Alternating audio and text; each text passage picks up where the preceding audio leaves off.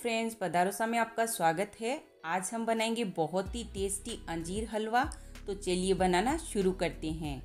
मैंने यहाँ 10 से 12 अंजीर लिए हैं। वज़न में ये 150 ग्राम है। अंजीर को अच्छी तरह धोकर रात भर भिगो दिया था। अगर दिन में भिगोने हो तो 6 से 7 घंटे भिगो सकते हैं। मैंने अंजीर को मिक्सर जार में डाल दिया है। अब इसमें दो से तीन चम्मच अंजीर वाला पानी डालकर बारीक पीसना है। पीसते समय कम से कम पानी ही डालना है। मैंने यहाँ कढ़ाई ली है। अब इसमें चौथाई कप, यानी 50 ग्राम बारीक वाली सूजी और चौथाई चम्मच घी डालकर तीन से चार minute low to medium flame पर सेकना है। आप सूजी की मात्रा बढ़ा भी सकते हैं 100 ग्राम तक भी ले सकते हैं। सूजी को बिना घी भी सेक सकते हैं, पर इतने से घी डालने पर सूजी से अलग ही महक आने लगती है। सूजी सीख गई है, एक बार इसे साइड में रखना है।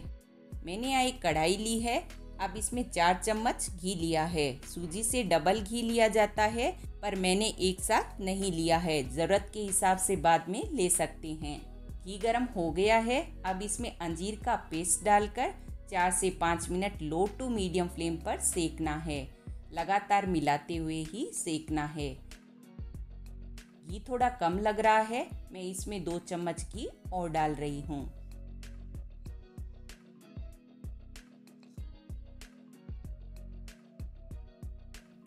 सेकते हुए लगभग पाँच मिनट हो गए हैं।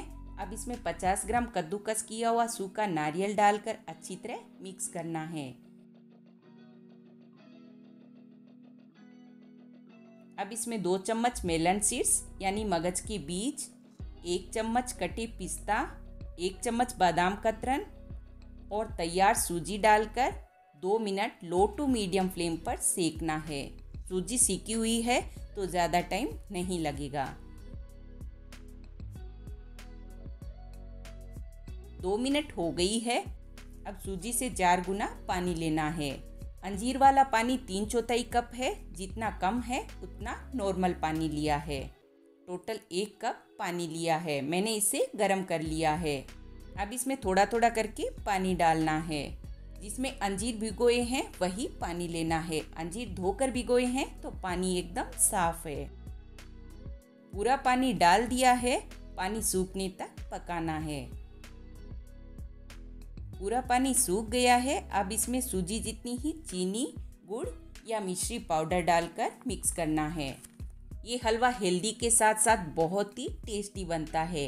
इस हलवे को आठ से दस दिनों तक फ्रिज में स्टोर करके भी रख सकते हैं। अंजीर हलवा तैयार है। आप भी ज़रूर बनाइए। वीडियो पसंद आए तो लाइक कीजिए। Thank you.